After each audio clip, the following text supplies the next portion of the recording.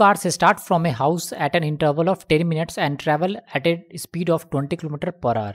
With what speed should a woman coming from the opposite direction travel towards the house to meet the cars at an interval of 8 minutes?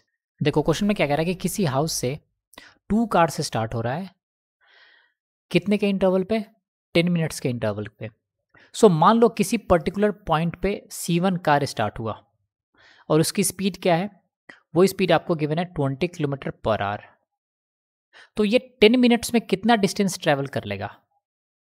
वो simply क्या होता है? Distance निकालोगे तो speed into time तो इसका speed क्या था? ट्वेंटी किलोमीटर पर आवर और इनटू टाइम कितना है? टेन मिनट इसको आर में चेंज करोगे तो टेन बाई सिक्सटी कर दोगे। करेक्ट है? और ये आर होगा। ये आर से hour cancel that imply ten से ये सिक्स तो टू से थ्री और टू से ये टेन दैट इम्प्लाई ये टेन बाई थ्री किलोमीटर आगे चला जाएगा, जिस पॉइंट पे कार टू स्टार्ट होगा। इट मीन्स सी वन और सी टू के बीच में ऑलवेज एक डिस्टेंस मेंटेन रहेगा और वो डिस्टेंस किसके इक्वल है? टेन बाई थ्री किलोमीटर के। नाउ एक वुमन अपोजिट डायरेक्शन से हाउस की तरफ़ आ रही है। तो सबसे पहले उसको कौन सा कार मिला होगा? उसको सी वन कार मिला होगा। लेट से ये इस डायरेक्शन में आ रही है तो उसको सी वन कार मिला होगा। एट द सेम टाइम पे सी टू कार किस डिस्टेंस पे होगा? उससे टेन बाई थ्री किलोमीटर पीछे होगा। करेक्ट है?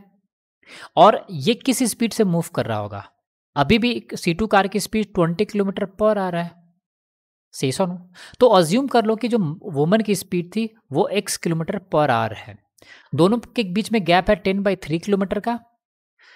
एक की स्पीड है twenty kilometre per hour car जो वुमन की तरफ़ आ रही है और वुमेन एक्स स्पीड से अब कार सी टू की तरफ़ मूव कर रही है। तो इफ़ेक्टिव स्पीड कितना हो जाएगा? वो हो जाएगा ट्वेंटी प्लस एक्स और ये क्या हो जाएगा? किलोमीटर पर आवर करेक्ट है? और उसको मिलना कितनी देर में? है एट मिनट में।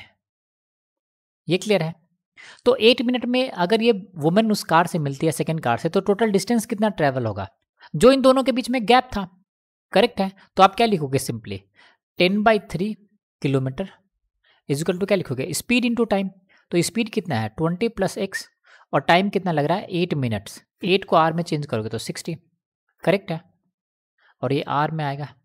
ये क्लियर है?